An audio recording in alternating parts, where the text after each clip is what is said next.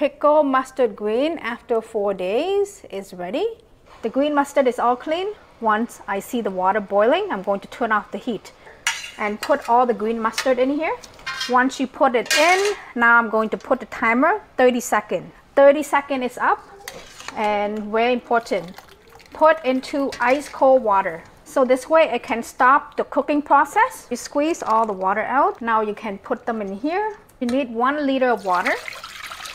Salt, one tablespoon. When you see the salt is all dissolved, after that you can turn off the heat, take it off the stove and let it cool down seven minutes. And after 7 minutes, you can pour everything in here. Once you're done using the small stick to push down the mustard green so it is fully submerged under the liquid. After that, you can let it cool down completely before you use the lid to cover it and leave it at least 3 to 5 days until the mustard green becomes sour.